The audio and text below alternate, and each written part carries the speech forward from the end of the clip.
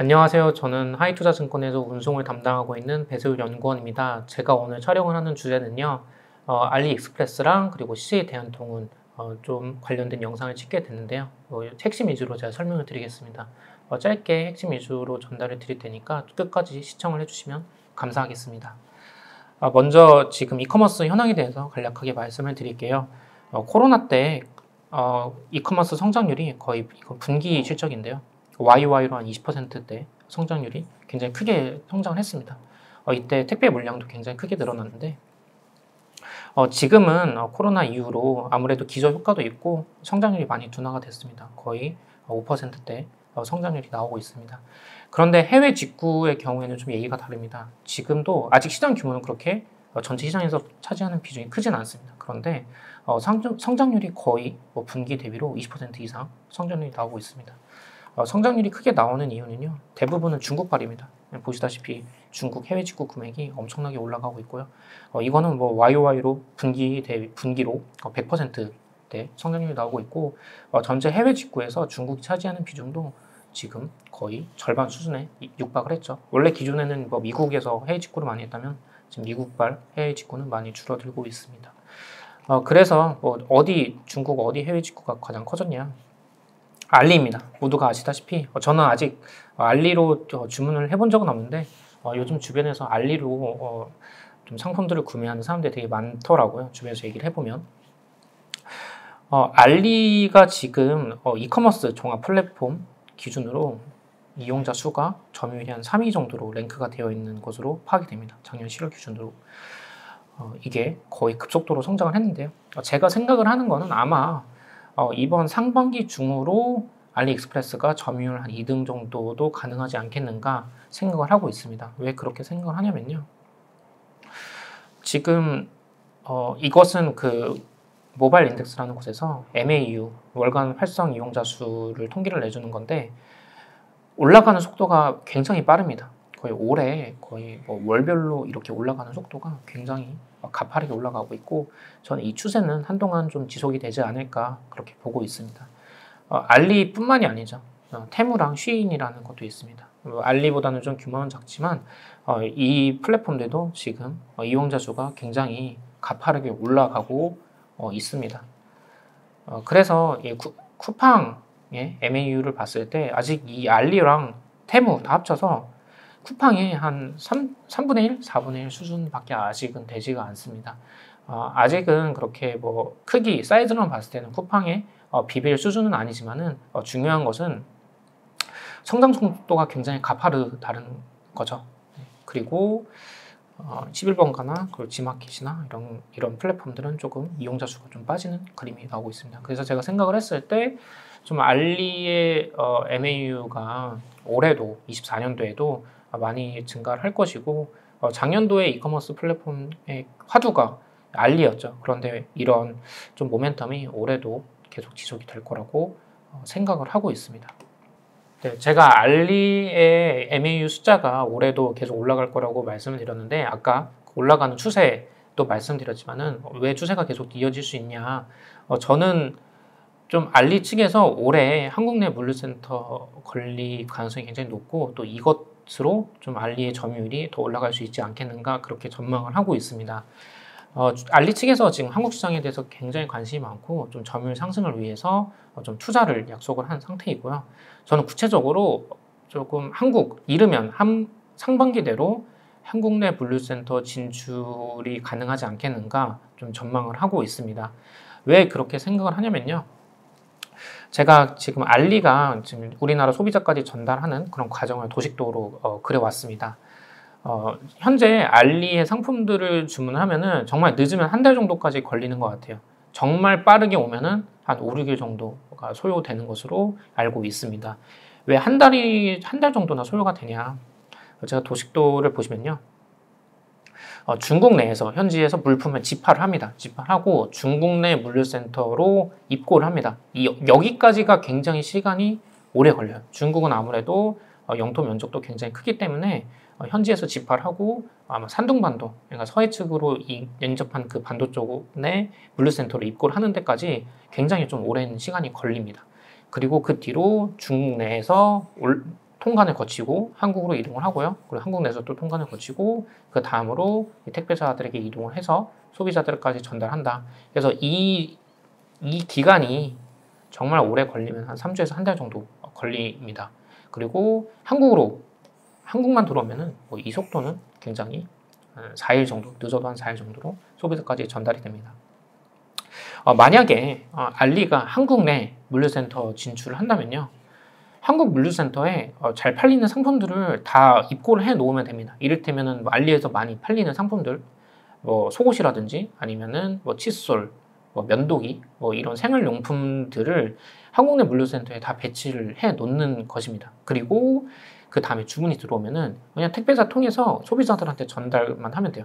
그래서 기존에는 한 3주에서 한 달 정도 걸렸던 그런 배송 기간이 어, 이제는 정말 빠르면 하루 그리고 이틀 정도까지 걸리면은 소비자들까지 전달이 되는 그런 배송 속도가 되는 것이죠. 어, 이커머스 소비자 만족도 기준으로 이 배송 속도가 굉장히 큰 부분을 차지합니다. 그래서 알리 입장에서는 한국 내 점유율을 더 끌어올리기 위해서는 이 물류센터 건립이 어, 저는 필수적이다라고 생각을 하고 있습니다. 어, 그래서 저는 뭐 결론적으로 좀 상반기 내로는 이런 소식이 들려오지 않을까 좀 예상을 하고 있고요. 어, 그렇게 생각하는 이유, 뭐 부차적으로 제가 간단하게 말씀드리면은 지금 물류센터가 어, 굉장히 어, 공실률이 높은 상황입니다. 특히 그 인천항이랑 가까운 좀 인천 쪽 물류센터의 공실이 좀 심각한 수준이고요.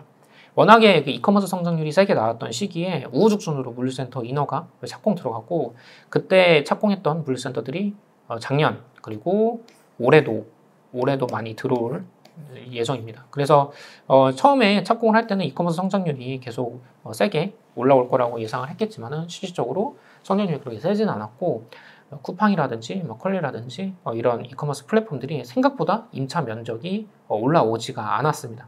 어, 그렇기 때문에 공실 문제가 지금 대두가 되고 있고 아마 공실은 어, 수도권 물류센터의 공실은 올해도 조금 높은 수준으로 유지를 하지 않을까.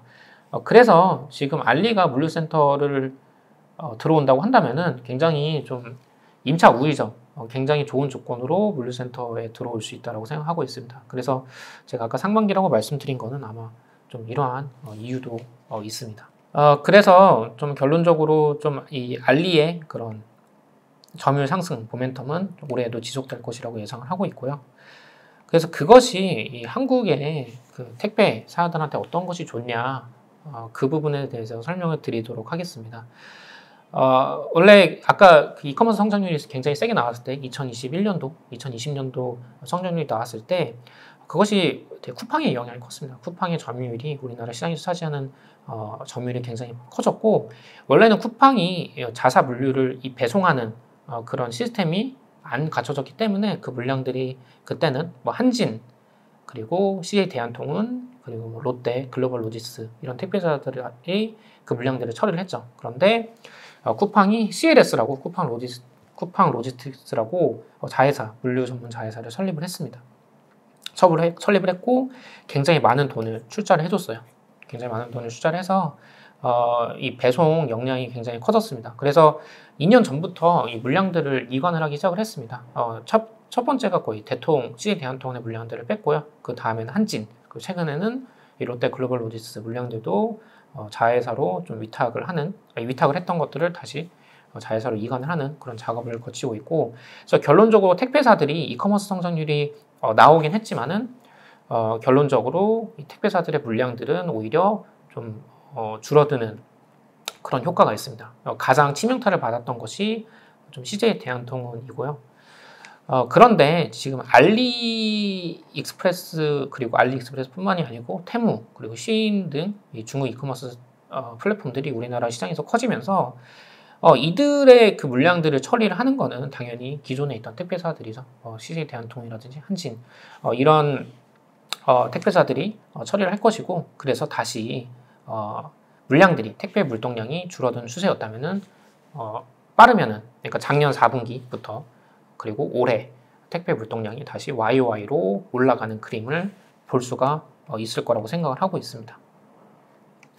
어, 이것이 핵심 내용입니다. 그래서 어, 저는 이 대한통운 주가에 대해서 많이 올랐어요. 그러니까 작년 10월부터 지금까지 봤을 때 거의 80% 어, 정도 주가 상승을 기록을 했습니다. 근데 여기서 추가적으로 더 갈 수 있냐? 저는 어, 대통령의 주가에 대해서 아직도 긍정적으로 더 갈 수 있는 여력이 있다라고 어, 생각을 하고 있습니다.